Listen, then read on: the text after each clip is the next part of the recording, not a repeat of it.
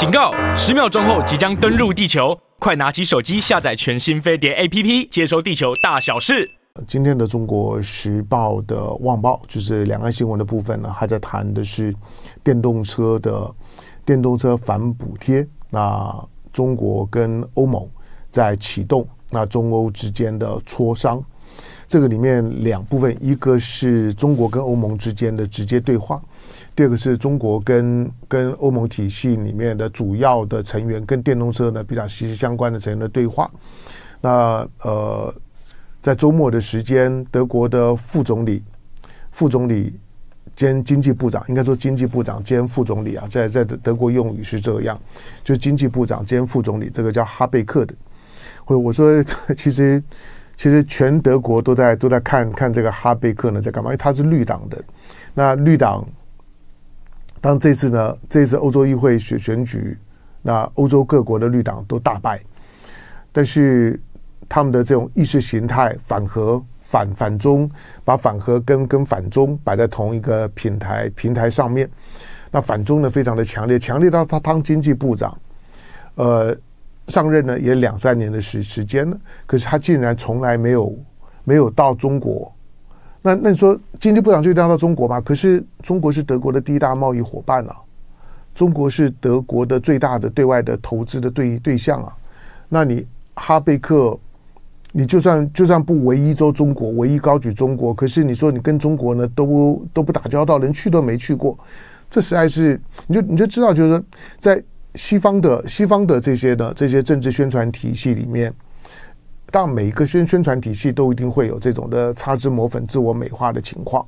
但是你作为一个乐听大众，不管你所处的位置是什么，你你都应该有一些有一些自我平衡，跟在在看这些的文字或者影音的宣传的时候，能够能够自我平衡理解的能力，就免得带风向的时候就带到你了。那哈贝克反中是一回事儿，可是从来都都没有去过呢。最大的贸易贸易对象，那中国的访问，中德的贸易关系是地球上面非常重要的贸易关系，就他都没有去，所以大家就在看。好，那这那这次去了，呃，刚结束了，去了三天，那谈的怎么样？因为我也还没有看到一些比较细部的东西出来。但是我我只知道他在出发前的时候呢，德国的媒体普遍都不祝福，就是就觉得我我我想不不祝福的原因，倒不是说德国的媒体对中国多么的友善、多么的青睐，倒倒不是。你看，你如果常常看德国之声、看这些媒体，倒不是比较。比较非官方的、非政治的这些呢，商业商业性比较高的媒体，那可能平衡一点。但是如果政治性比较高的媒体，基本上会跟着美国、跟着西方的这种的反中叙叙事，呃，那个大概调子差不多。可是为为什么不看好哈哈贝克？不看好哈贝克？我认为主要是因为这现在现在德国的经济非常的不好。那德国的经济非常的不好，对对经济部长来讲，当然压力就很大。可是这种的。这种混混合编组的政府啊，多党的协议制下面的政府，你要去跟动一个内阁首长都非常的困难。在过去，当德国很稳定、很强大的时候，这种呃合议制的政治体系，那它所形成的这种合议制的民主协协商式的民主，被高举，认为是一种优点。可是，当德国现在经济不太行的时候呢，这种协商式的民主所产生的政治领导班子，它就出现问题，就是就是大家呢对对自己在协议当中呢所划定的那一块都守得非常非常紧。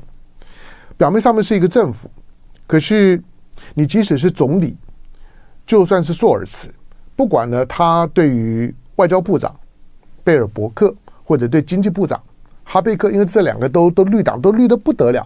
哈贝克过去呢是德国绿党的党主席啊，那这个贝尔伯克呢，俨然呢就是呢冯德莱恩第二，那都是非常非常的强硬的，硬到不管是在经济、能源或者是贸易，你会你会发现，索尔茨也使不上力啊。索尔茨连续两年的时间呢，带着他的工商团体的访访问团，我说就像是耶稣带着十二门徒一样啊，因为他每次每次飞机上面都都都带着十二个，他的十二门门徒，他都带着十二门徒到到中国呢去两回了。你说气氛多好也也没有啦，但是也不太糟，因为因为我我认为气，因为中德的气氛没有多好的原因，呃。要怪舒尔茨吗？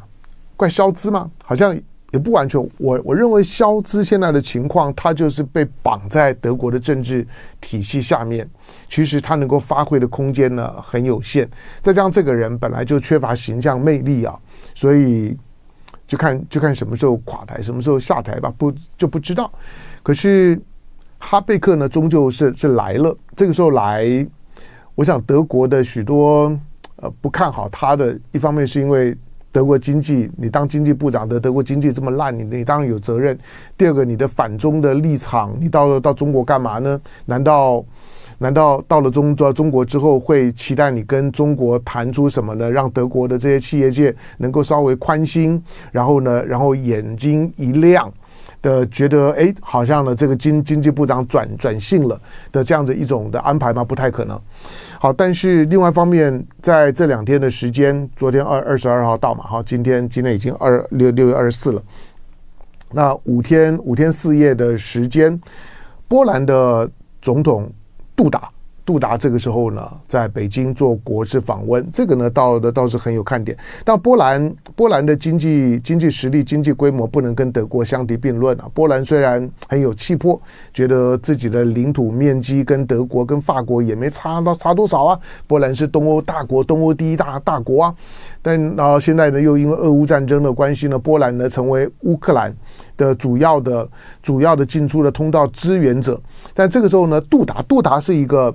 公开那讲话，因为因为深深的呢卷在俄乌战争里里头，将来如果会会如果如果历史上面还会再再出现一次呢瓜分乌克兰，那未来瓜分乌克兰的一一定两个国家，一个呢是现在正在打仗的俄罗斯，另外一个大概就波兰了，好吧？那波兰呢是是呢巴巴不得呢俄罗斯呢把俄罗斯呢撕撕成好好几块的，巴不得呢把普京呢碎碎尸万段的。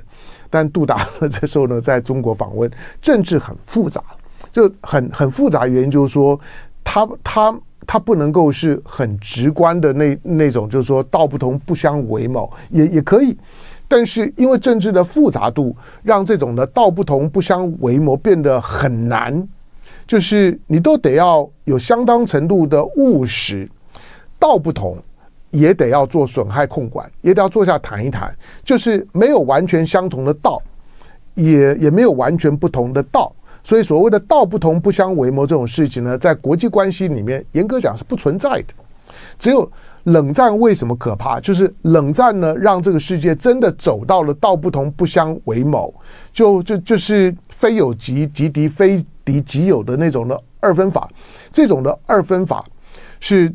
基本上面是一一神教基督新教的必然会会导致或换句话说，对于基基督教世界来讲，那种的二分法会变得非常的明显。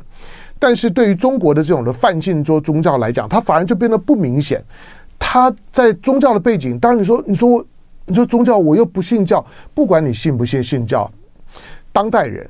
你不太可能在你的在你的思想跟意识跟你的认知层面上面摆脱呢宗教对你的影响或者是干扰，所以它跟你是不是有很虔诚的信仰无关，基本上面它就是在支配你。好，那这个呢当然是接下去观察的观察的重点了。今天九点半的正念龙凤杯呢会谈到了进广告，谈一个呢大家没想到的话题。那咱们待待会儿来谈一下黑神话。我对我对这个现象觉得蛮有意思的，黑黑黑神话的大家有听过吗？我我估计咱们的听众朋友，以你们年纪来讲，对黑神话大概没啥概念吧？大概要唐唐香龙这样的年纪，青青春洋溢的，才才对才对黑神话呢会有点概念。啊，哎有哎，侯赛雷有点有点有点有点概念啊，真的吗？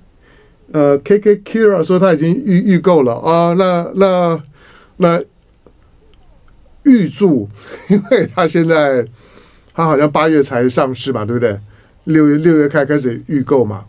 那我知道他现在在在全全球的预购排名第一名啊，在全全球啊，当然因为因为中国大陆体量大了，那就像我们会常常讲，在中国大陆第一名，你很可能就全球第一名。哦，天哪！我们的我们的板上面，呃，玩玩电玩的，玩手玩手游的哈，呃，他他他他不是手游，他不是手手机游游戏，他他基本上面应该应应该说他他是那种的，那种的游戏的卡夹，就是搭载在搭载在像是这个 PlayStation 上头的，或者是类似呢 Xbox 的这种的系统的，它不是手游啊，手游的。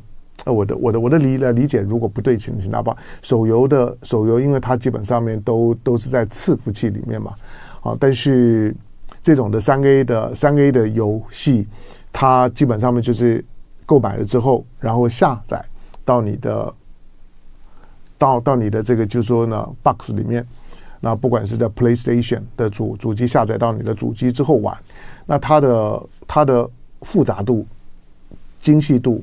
开发的时程以及那个游戏起来的那种的临啊临场感，跟手游当然就非常的不一样。手游反正一一幕就很就很小嘛，那当你要连线啊等等，可能比较方便。好，但是 OK 好，这 James，哎好，大家对对对黑神话黑黑悟空，呃啊，Sorry，对不起，我我我对大家的理解理解错误啊。我发现，OK，咱们的听众朋友们很很多都都是游戏世代啊。好了，我我不说谎，我我没有我没有在在玩在玩 game 的啊。看小孩子玩的时候，我在在旁边旁边蹭一下，大概就是这样而已。但是没啥概念。好，不过呃，华呃华人的圈子里面啊，可以。可以关注一下这个黑神话，当然，他现在话话题性已经很高了。在在玩玩游戏的人圈子里面，你家里面呢，如果有 PlayStation，因为它它之后呢，大概就搭载在 PlayStation 上面。那你你可能已经已经被扫到了，也高度的关注到了，甚至我们刚刚的网网友们啊，我们的听友们说，哎，我已经预预定了，对他六他他是六月二。二二十号是，他这是不是六月二十号开始开放预预定？总而言之啊，就反正他预定之后，已经那算是销销售一空嘛，已经几几百万套了。那大概八月才会呢正式上档。可是你知道这个呃黑神话？讲的是孙悟空的故事啊，主主主角是孙悟空了。好，那那个那个故故事的背景我就不不说了，你网络上自己去搜去搜寻吧，我没时间讲讲那么多。好，但是它之所以会形成话题，当到目前为止，我不能够不能够完全确定，就是说它到底是一个是一个宣传手法，还是还是呢真的就是说呢黑神话悟空的制作团队叫。Game Science 对不对？是不是？不是叫 Game Science？Game Science 就是游戏科学。这这家呢，中国大陆的这个就是说游戏的公司，他们真的呢，就是接到了加拿大的一家公司。这家公司你在网络上面可以查得到，它的名名字非常的 sexy。它的名字呢叫做呢 Sweet Baby，Sweet Baby 甜蜜宝贝，Sweet Baby。那因为这个 Sweet Baby 呢，在中国大陆，我看这网网友们，反正说说缩写呢，就就是 SB 嘛，Sweet Baby 哈，所以中国大陆呢就把它缩缩写成 SB。那这家呢，Sweet Baby 也确实很 SB。呃，倒不是说他到底是不是真的发了函件去勒索孙悟空，我说孙悟空从。从被创作出来到现在呢，一千三百多多年的历史里面，孙悟空作为中国人共同的记忆文文化文化记忆当中的虚构人物，可是，一千三百多年之后，他竟然被穿越、被勒索了，就勒索孙悟空，说孙悟空的这个黑神话呢，这个 game 里里面，呃，物化女性，然后有肤色、种族、性别的歧视等等。那或者呢，可能呢对对这个孩子不好。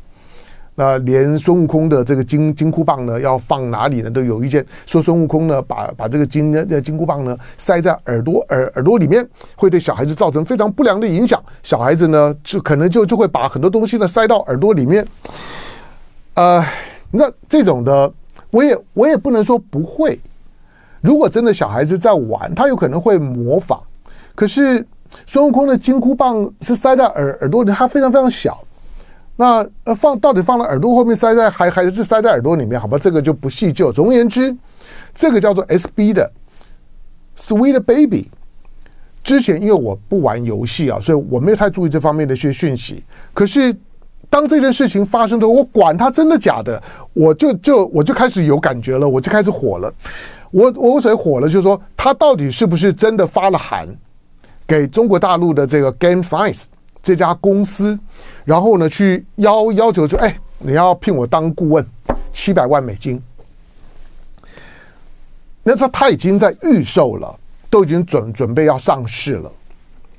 那这个时候，一家一家加拿大的公公司，这家公司网络上你可以你可以查查得到啊，他大概只有十来个人，但是他底下列出他的客，他确实是一家公司，他专门做这种所谓的嗯。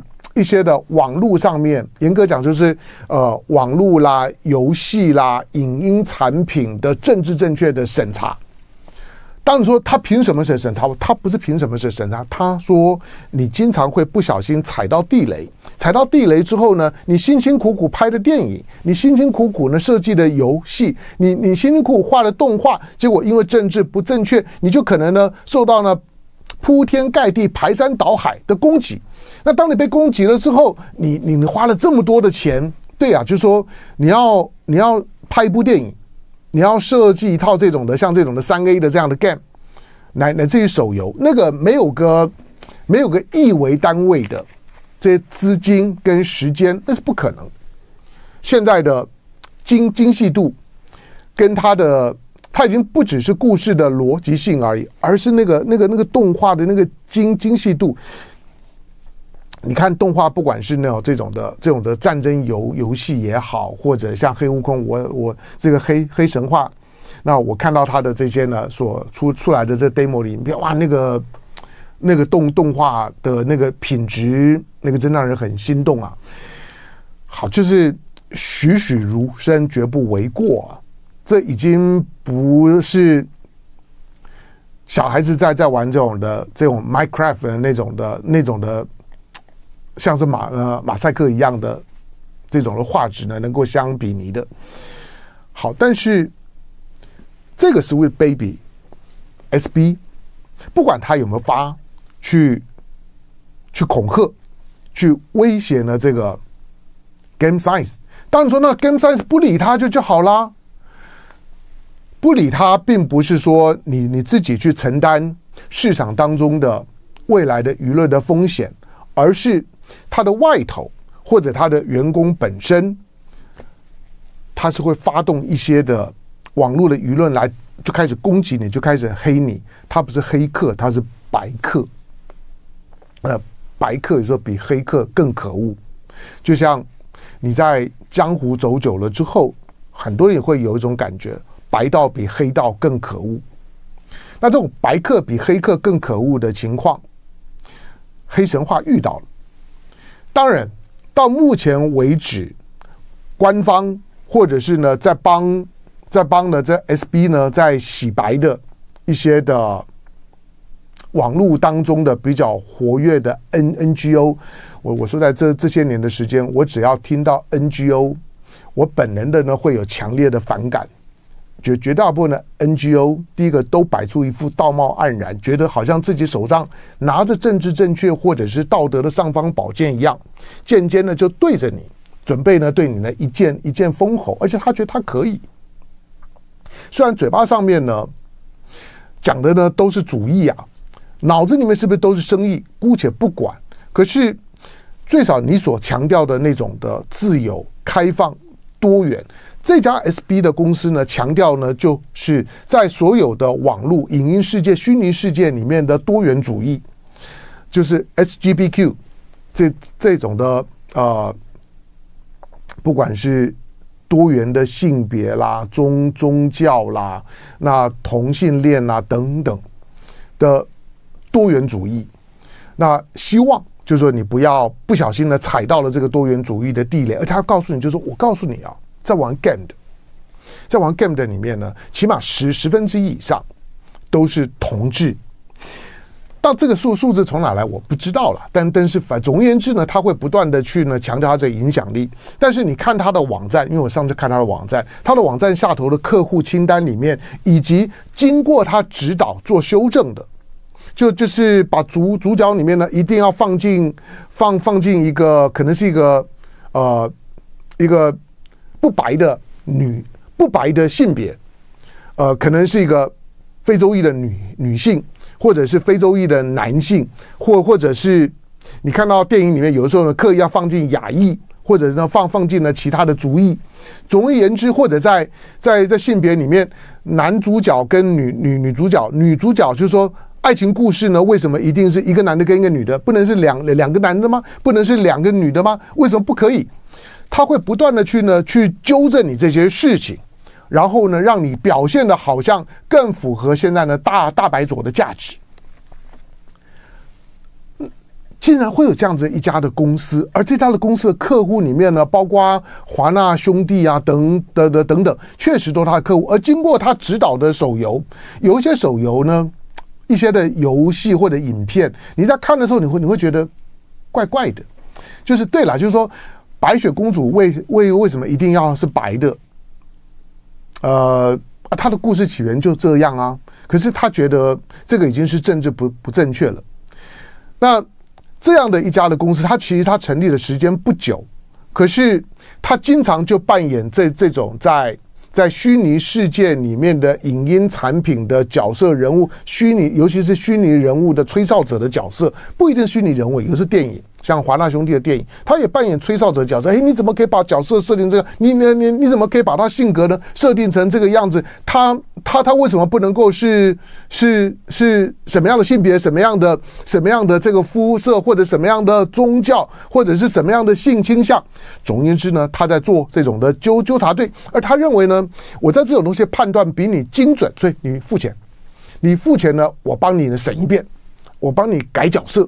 反正呢，很多都是虚拟的嘛。那那改一下角角色之后，电脑动画重重新做一下，就会让你呢更畅行无阻，在世界各地的西方世界里面，连马斯克 Elon Musk，这这这是几个月前的事儿哈。就是我我我倒倒叙回去看的时候，今年的今年的三月三月四月，早早在早在呢这个黑神话六月前前前几天呢开始预售以前，其实。有关于这个 SB 公司呢本身的这种拿着好像好像的政治正确跟政治道德的尚方宝剑呢，到处的砍杀，然后呢一些跟他们内外呼应，不晓得有没有有没有金钱商业关系内外呼应的这些网络上面的所谓的 NGO，基本上跟他们沆瀣一气的，好像觉得这样是 OK 的。总而言之呢，他就是要把要把他的价值观，他认为他正确的价值观，硬套到许多的花了大的心力、非常长的时间，然后呢，创意呢可能很惊人，同时呢，未来在市场当中呢所期待的回收是非常巨大的产品，你就会成为他的勒索的对象。所以，马斯克呢，基本上面呢。几个月前了，马那马斯克他妈那个时候，我我其实因为我有我有为定他的推呀，定他的 X 啊，可是那时候马斯克的讲话时候，我知道我真的没没概念。可是到到黑黑神话悟空要要上要上市的时候，哎，我开始有概念，因为因为我终于懂了，原来他干的是这档丑陋的勾当。我我终于理解了马斯克呢为什么觉得像这样的一个机构，这样的 SB 的机构，而且被他绑架的这些。影音产品都乖乖的成为他的客户，那等于是花钱消灾，免得呢被点名了之后呢，在市场当中呢引起了非常负面的这个声量了之后，那影响了票房。简单换句话说，不管是拍电影的、搞游戏的，为了赚钱，基本上面牺牲掉非常多的原则。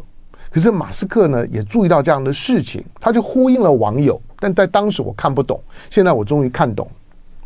那但是他这次呢，不管他有假假定有，假定他真的发了这样的函，然后呢去勒索孙悟空，勒索孙悟空呢七百万美金，这不是小钱呐。那七百万美金算一算呢，大概五千万的人民币吧。就是说我帮你审审核，那个那个审核审到怎么样地地步，你可以你可以想见了。但是我只是说，因为他这一次点名的惹到的是黑神话，惹到的是孙悟空。孙悟空啊，别人你惹一惹，就就算你惹的是孙悟空，那还会善了吗？基本上面现在呢，整个的整个中国大陆的这种的这种的，我估计啦，就是如果越来越多的网友们关注这件事情，大概都会觉得说，理他干嘛？到底在海外会有多少市场？先不管。但是，网络的自由。我反我反而发现中国大陆呢在在所谓的网络民主这件事情比西方好太多了大白左太可怕了。就爱点你 ufo